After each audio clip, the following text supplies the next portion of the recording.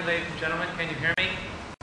Great. It's, uh, it's a real pleasure to be here. This is my fourth visit to the Philippines, and every here I'm just uh, enjoying every minute.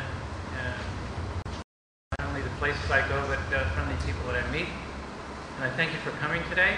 Um, as Giselle, I'm an insect physiologist and a neurobiologist, and I'm interested in, in studies both from the point of view of their impact on, on our society and from the point of view of using them as model systems to understand uh, various aspects of physiological and in particular interested in how the nervous system makes behavior. So let me start with the first slide.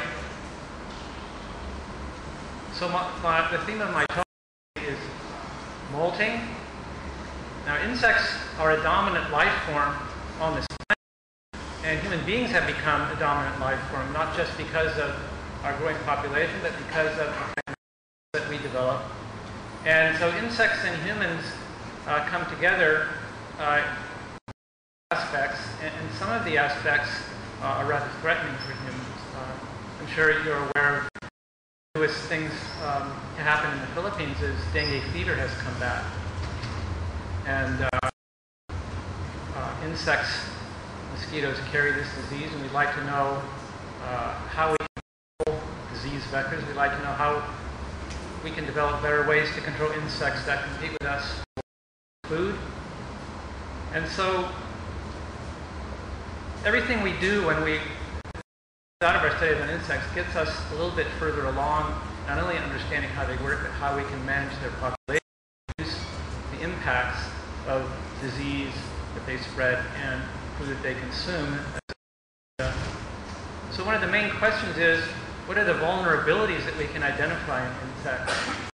Uh, insects have rather unique pharmacologies that go on, kinds of signaling that goes on in their nervous system, and there are insect control strategies that focus on some of these unique aspects of their pharmacology.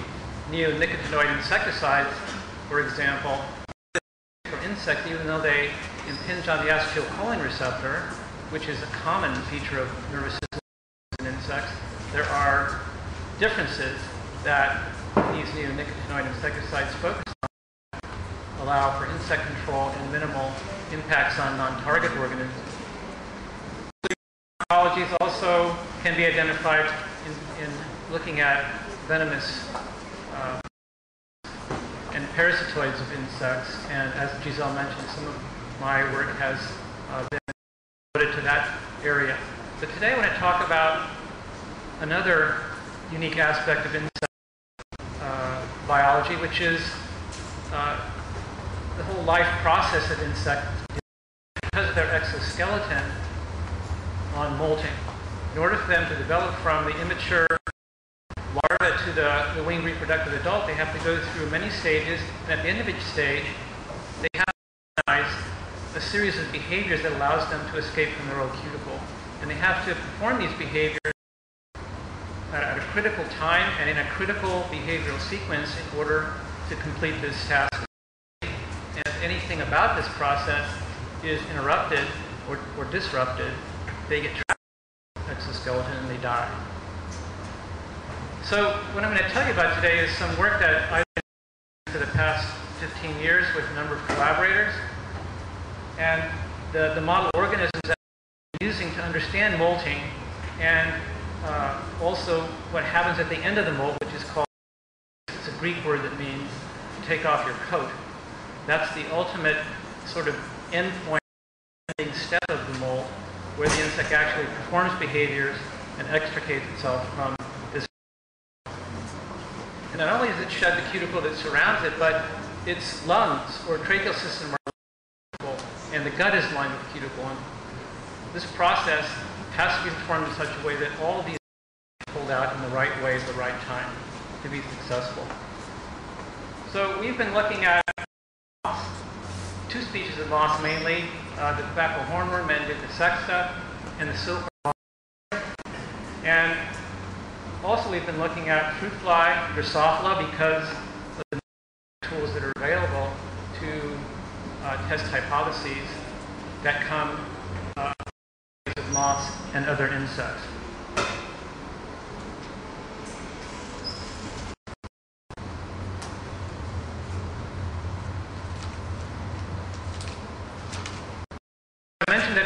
Go through many stages from the egg to the adult, and here you see a, a cover picture from Science Magazine back in 2002. And the larva hatches from the egg and goes through three larval stages. Pointer's not too great.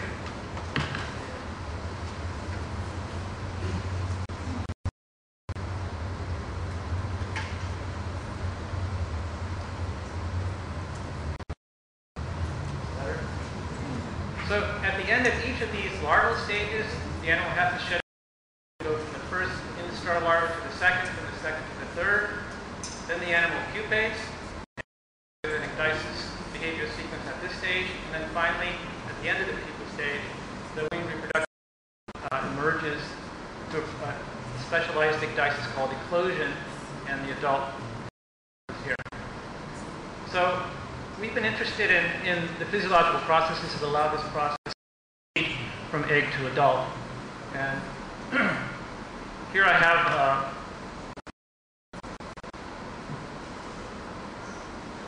this is a cicada undergoing that last ecdysis we call eclosion. 37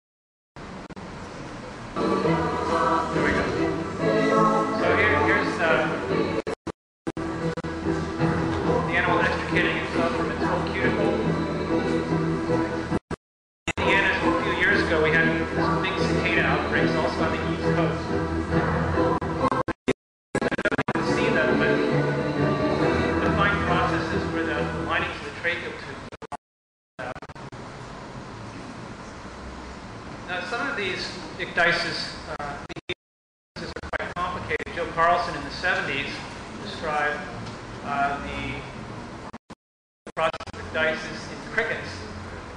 Coincidentally, I had kamaru last night. How many of you have tried that? It's quite tasty.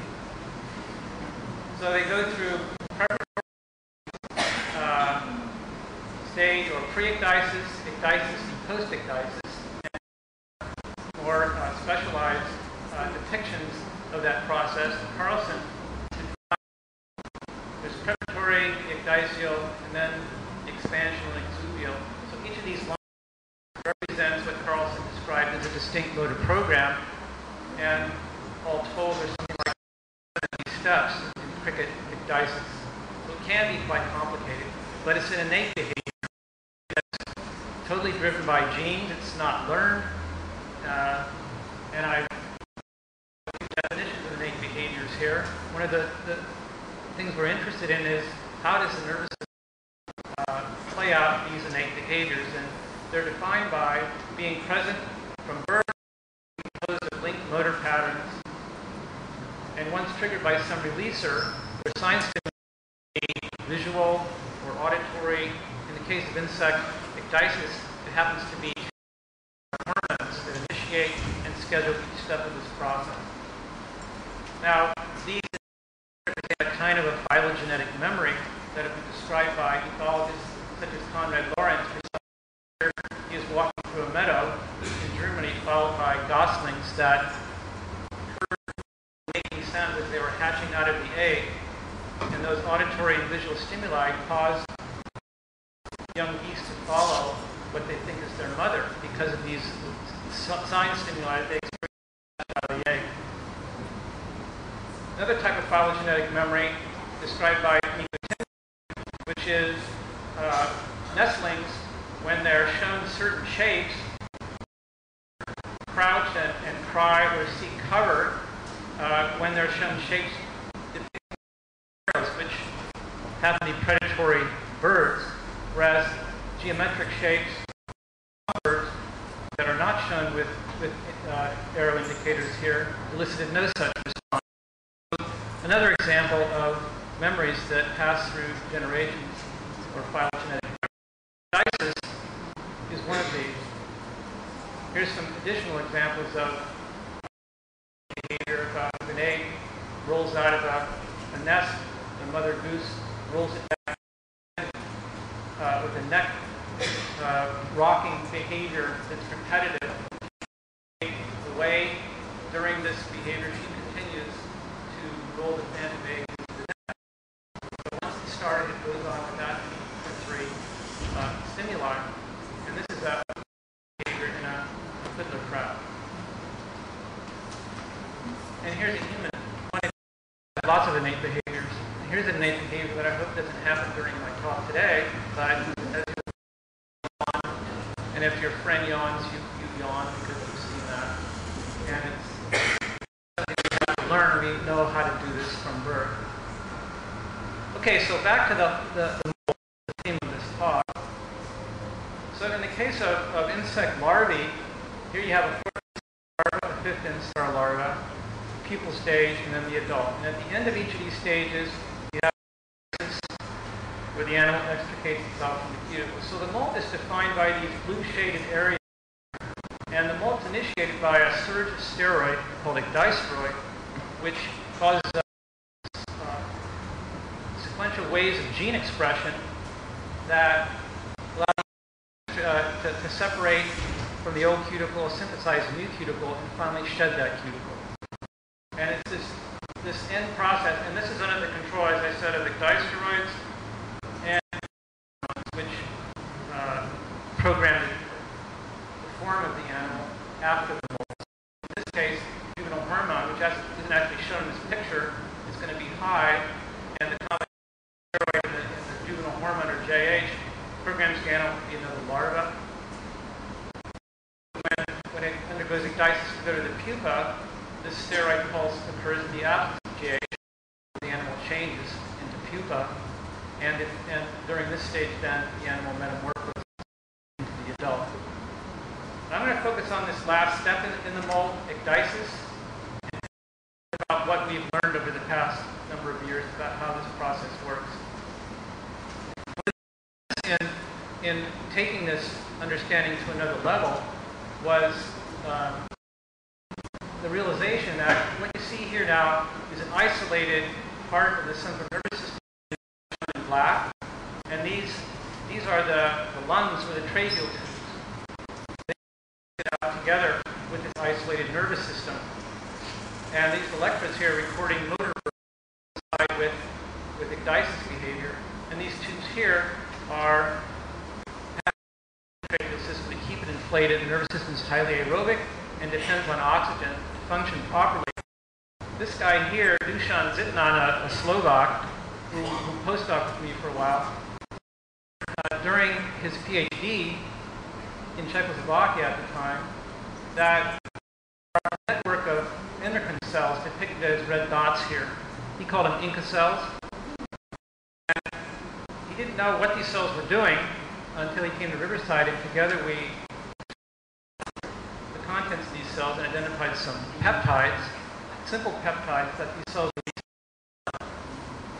Once this peptide, which we call ecdysis triggering hormone, is released into the animal within a, a couple minutes, starts doing this innate behavior, this ecdysis behavior, is composed of several sequential behaviors.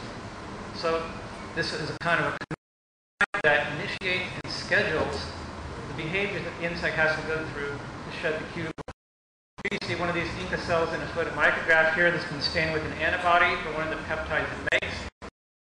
And it's sitting on the surface of this tracheal tube facing the blood space. And this is the old cuticle that's been separated at the initiation of the molt. And when the, the events during the molt are completed, the cell then releases almost all of its peptide content starts the animal into the behavioral sequence that allows it to undergo ecdysis. The hormones in these cells, the, the MAS is Manduca succibiome is the silver bombyx. So acids, ETH is 26 amino acids in Manduca, 23. These are the Drosophila peptides. There's two of them. In moths, there's actually also PETH and ETH. So there are multiple peptides released from this cell that come from the same protein that are involved in, in triggering the, this ecdysis behavior. Now, goes on normally now the if you just watch it. The blue here is a pre-ecdysis behavior. The yellow is a second uh, motor program that, that starts about 20 minutes. After the first one starts and they're performed together. And after 60 minutes, the animal switches to a behavior and falls out of little cuticle. And we found that the peptides in these Inka cells into an animal before this normally occurs will play out one or more of these behaviors. This peptide initiates just the first step, then the animal will know what to do next. The second peptide, when injected into the animal, starts off this yellow behavior and then followed by the red ecdysis behavior. And here you see these three behaviors and the muscle groups that are involved in, in each behavior.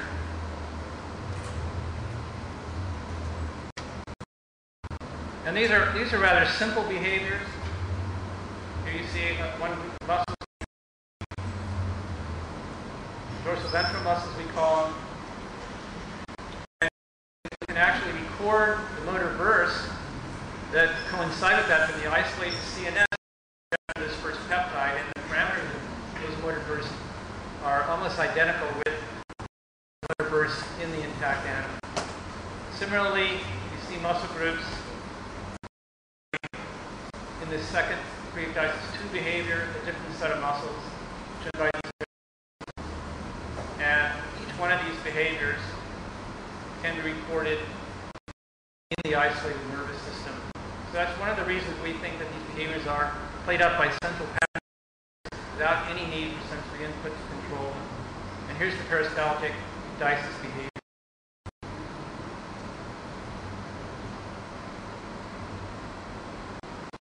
You see here are the linings of the lungs or tracheal tubes being pulled out as the cuticle is being pushed forward and sheds the cuticle which exits from the rear. From the isolated CNS. Now these Inka cells and the peptide are occur throughout the insects.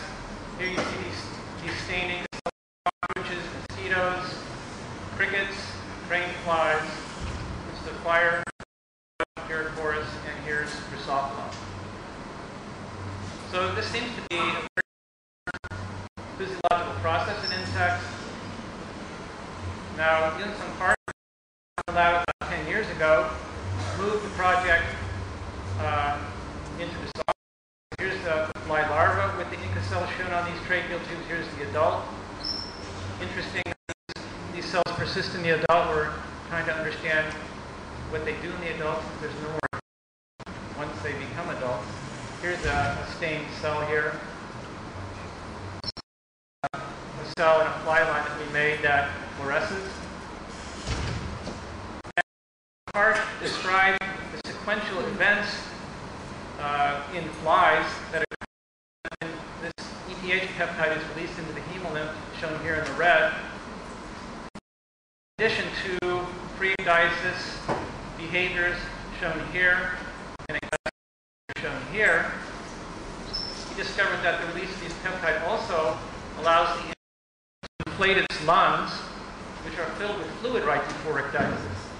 And what you're going to see, if you look here, are bubbles forming from within the animal, passing anteriorly. Now it's going to go posteriorly. These are the main tracheal trunks in the larva.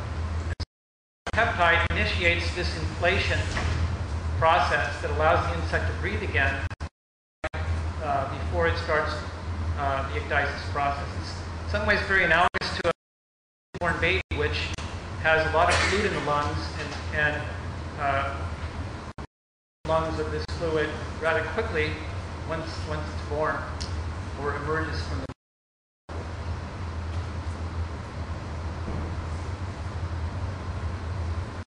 Okay, now one of the key things about ecdysis is that it's a vital process. What Park did in Drosophila was he knocked out the hormone, the gene that uh, hormone. And natural ecdysis, again, I showed in the previous, uh, this peptide is released into the blood and it's followed by pre-ecdysis and ecdysis behaviors. If encoding the peptide knocked out in this Y line, the animal is missing these behaviors. It does some kind of ecdysis-like contractions, but and the inflation process is delayed, and the animals get stuck in their cuticle and die. So we think one of the things that can occur in the future now, knowing more about how this process of antagonist for the receptor that this hormone targets, and if, if we can do that, we may have new insect control agents. And this, this knockout, the candida behaviors or immersion in the cuticle can be rescued if, if the synthetic here at this lightning bolt, the animal goes through all the behaviors and successfully ecdysis. Now, another aspect of this is the animal acquire the behavior at the, at the, at, during the molt, and they lose the ability to perform the behavior at one time. And so the molt actually allows the animal to reacquire behavior for use at the end of the subsequent stage. So it's an episodic behavior steroids. So you see here, the steroid surges during the fourth uh, moth larva, and the, the transcript that encodes the hormone surges in close uh, synchrony with the steroids. The steroids actually makes the hormone. We've also now identified networks of, of peptide neurons in the CNS that are shown in these colors here, yellow and green, that express the receptor, receptor in the moth. We call these peptidergic ensembles. We think the hormone on these ensembles of neurons, causing them to release their peptides that then turn on the central peptides for the behavior. So this uh, network of peptidergic neurons targeted by this hormonal peptide ETH are also found in. So these are the homologous groups of neurons in Drosophila, again indicating what a conserved process this is. And we know that the receptors also surge, transcript surge shortly after the steroid surges to begin the molt. So one of the questions we wanted to know is, do receptor neurons that respond to the peptide become active at the right times? That is, when the peptide is released into the bloodstream or when it's applied artificially to the nervous system. So we can, in cell-specific fashion, drive the expression of indicators that calcium starts to oscillate in a cell once it's been activated. So we, we the behaviors the animal goes through with calcium dynamics in these ETH receptor cells during pre-ecdysis, ecdysis, and post-ecdysis. I don't know what Anybody know how much time I have? Okay. I don't have to go so fast. Okay, so calcium imaging is a technique that we've been using in flies to control cell-specific drivers to, to see when these ETH receptor cells are active. So I want to show you, just give you a flavor for how this kind of experiment works. here you see these ETH receptor neurons, these peptidergic ensembles, showing, in this case, green, green fluorescent protein fluorescence. And you can, we're, we're, particular experiment, I'm going to show you a movie of. We have two ensembles of neurons, green ones and the brown ones. The green ones express a peptide called kinin, shown in, in various experiments, is involved in tracheal inflation and pre behavior. Brown neurons here make a hormone called bursicon. And bursicon has long been known to be involved in cuticle sclerotization, hardening, and darkening. Also has functions as a behavioral peptide. So what we do is we can isolate the nervous system here. Now remember that the behaviors can be played out without any sensory input, and, we've shown this in the moth and in the fly. Central pattern generators are turned on when the peptides apply, and then we can visualize the activity of these cells using techniques. So these these areas here shown in the rectangles are, are these neurons I've shown here in the picture that release either kinin or bursicon. what you're going to see is the kinin cells become active first and the bursicon cells become active second. So here the, the kinin cells and the bursicon cells in the red squares.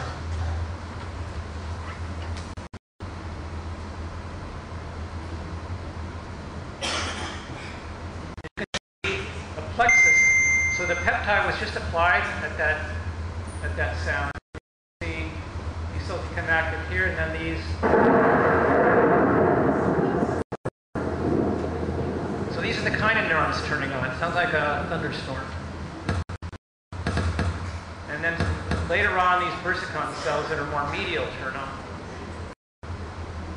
So this is a nice way to, to look at a whole lot of cells active, how long they're active, when they turn on, when they turn off, when the next group of cells turn on. And it, it applies, you can imagine, neurons are quite small. It's hard to impale every neuron with an electrode and record electrical activity, but we're actually going to try and start doing that sometime soon. So here are some results uh, of experiments that Young Kim, a grad student in the lab, has done looking at these two groups of cells that we think are involved in for kinin and ecdysis bursicon. So ETH is applied at either 300 or 600 nanomolar, and you see these correspond to those fluorescent dynamic, calcium dynamics that you saw in the movie. Kinin cells, the peptide applied here, and after a few minutes, kinin cells turn on, they then turn off, then the bursicon cells turn on. And the time course, the scheduling of this uh, is somewhat accelerated if we put the peptide on at a higher concentration. And statistically, if you look at a couple dozen flies, we're close to that, you can see the mean time for activation and cessation for kinin is shown here. It's rather uh, reproducible, and the bursicon cells don't turn on until the kinin cells shut off, shown here. So using this approach, we've identified these are the calcium dynamics now in different ensembles of these peptide cells in the CNS, and they're shown here. And the timing of their activity, this is no longer a question mark. We know when these kinds of cells turn on. The beginning of pre-ecdysis, they then shut off, and ecdysis turns on, and these bursicon cells turn on. Actually, this is kind of an old, outdated slide. These bursicon cells that I just showed you the movie, have this arrow needs to move over here now. We now know that they turn on much sooner than we previously thought.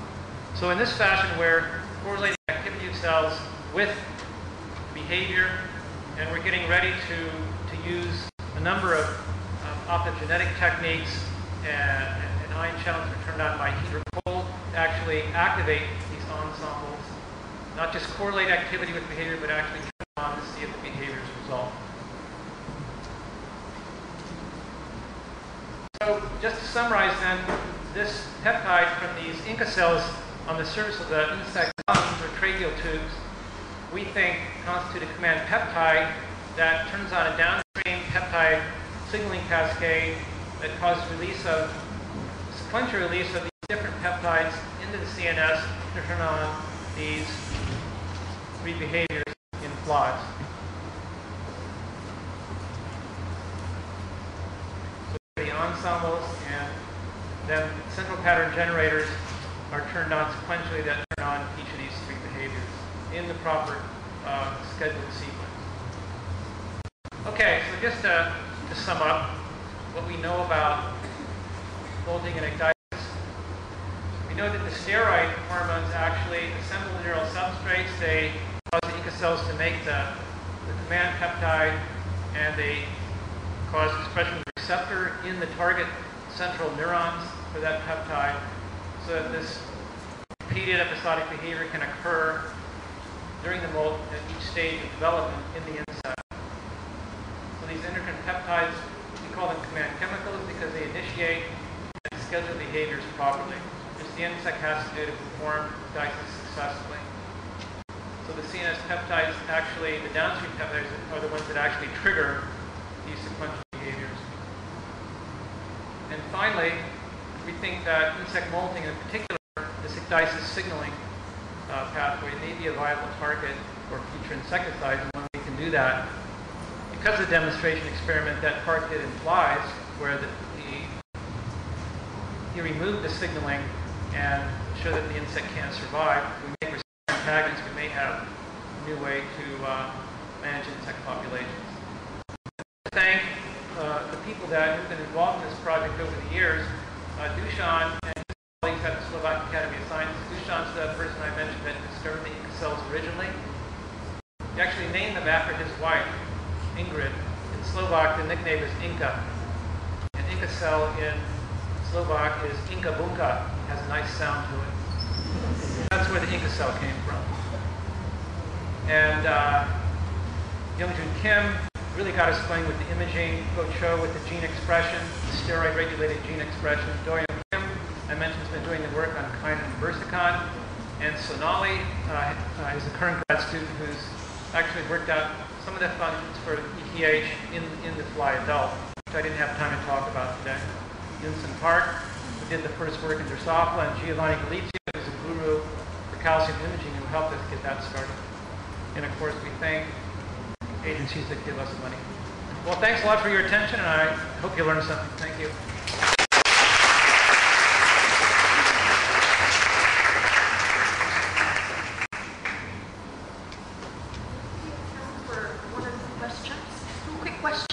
Yes, can you please identify yourself and uh,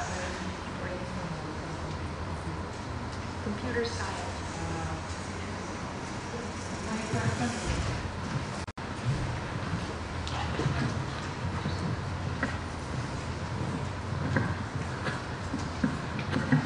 My question is physical rather than biochemical.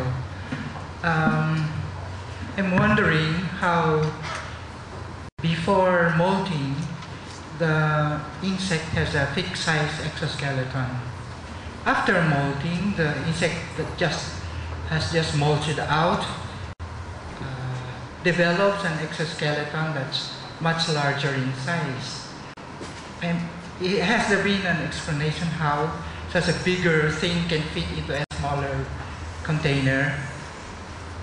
Okay, so what happens actually is during the molt, the steroid surges, and shortly after that uh, steroid pulse, the epidermal cells that make the cuticle separate from the existing cuticle. And actually the insect recycles the components of that old cuticle and, and, and recycles it into a newly synthesized cuticle. So it's making its new cuticle before it actually sheds its old coat. And in moth larvae, at least, we know that the cuticle is secreted in folds so that once it escapes from the old cuticle, these folds can then stretch out and, and cover a bigger surface area than the one uh, before the molt started. Does that help? Understand how? Yes, thank you. Sure. So Mike, there are um, a lot of parasitic wasps that lay their eggs in uh, larvae. And uh, my understanding is that the parasitic wasps change the uh, developmental program of uh, a lot of these larvae, so they, they fail to go through, through ecdysis.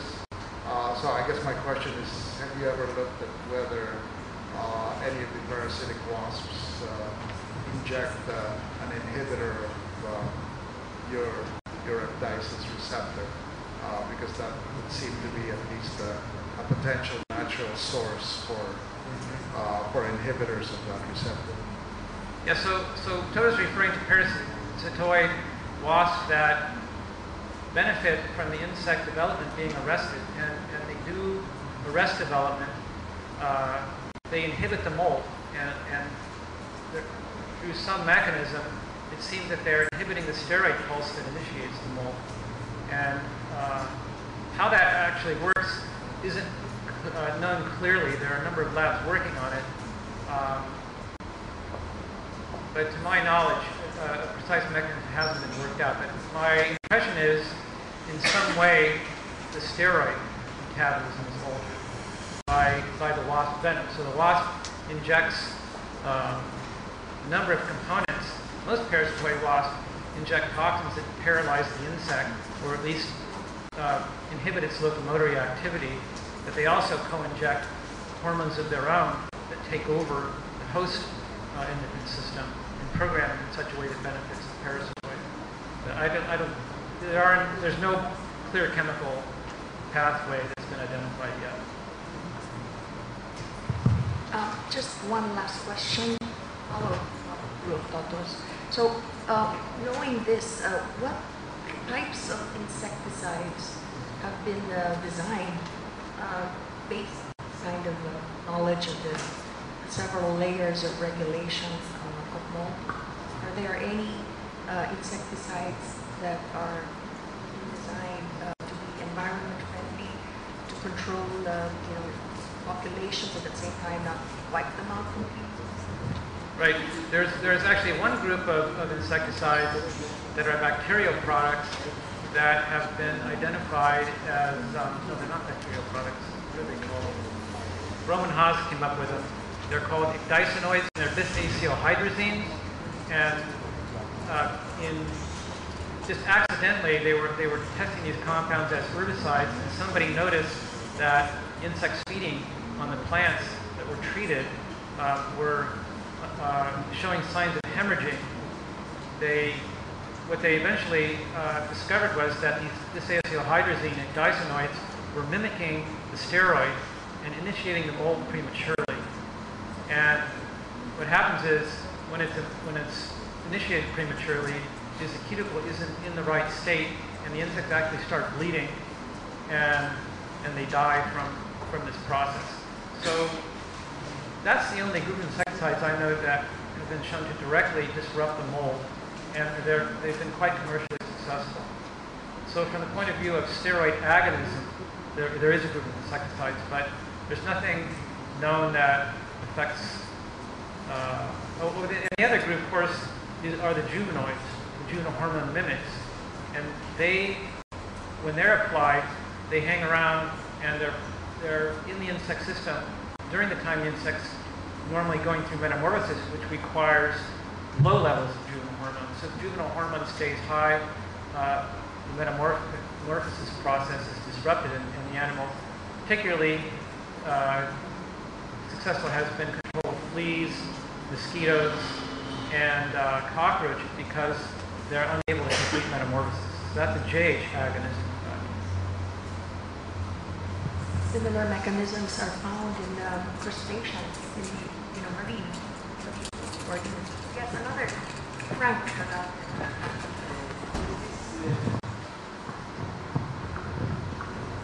This is related to the shrimp culture because for a time it's a big industry in the Philippines and uh, especially a particular species of shrimp, the Penaeus monodon. And uh, at one point in time, it was infected by a baculovirus that infects the hepatopancreas.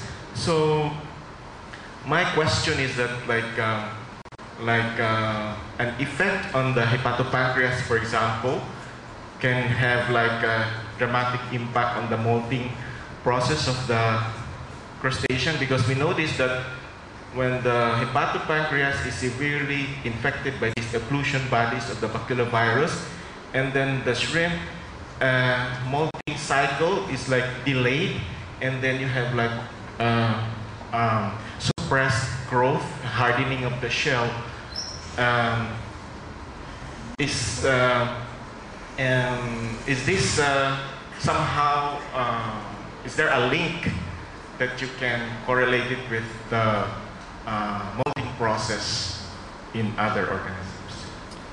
I, do you know that the pancreas is the only tissue or organ system affected by these bacterial baculoviruses? Is it, is it only the hepatopancreas? I think. Um, I must say that my knowledge uh, of molting is not all that complete in crustaceans. So I don't know of a link between hepatopancreas and the molt, but it sounds like there is one based on what you just told me. So maybe we could talk a little bit more afterwards.